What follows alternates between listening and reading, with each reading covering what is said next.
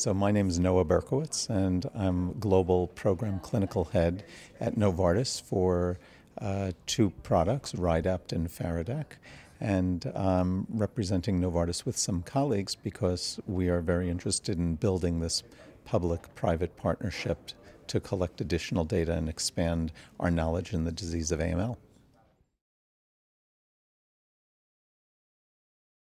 What we find is that we're able to construct clinical trials where we collect information, data about uh, patients and their response to treatment, uh, which uh, and the the efficacy and the safety, and um, this becomes the basis for our understanding whether a drug can help patients or not. But ultimately,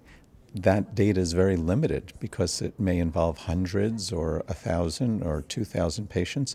but we want to be, have a better understanding of what happens when the drug gets out into the world and uh, how patients respond to it. Uh, we also want to understand what are the needs of patients so we could direct our energies and our resources more effectively to help the patient community.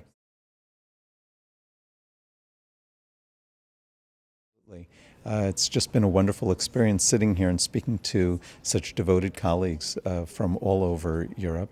uh, and from other parts of the world uh, who are interested in looking for ways to expand our common knowledge with a patient focus and, um, and ultimately to be a contributor to that. Uh, pleases me as an individual, but I'm sure uh, is satisfying to the company and everyone else as well.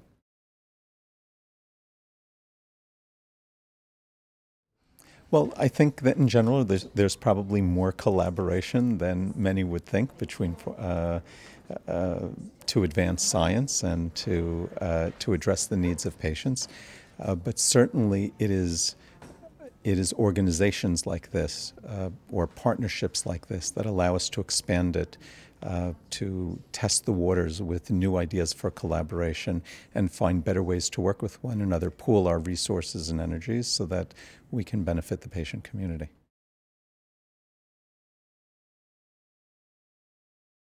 That just the very experience of learning to work with one another, share information, um, share ideas,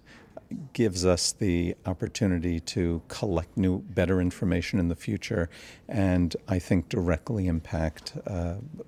the development of new drugs, but also the dissemination of data and make uh, drugs available for patients.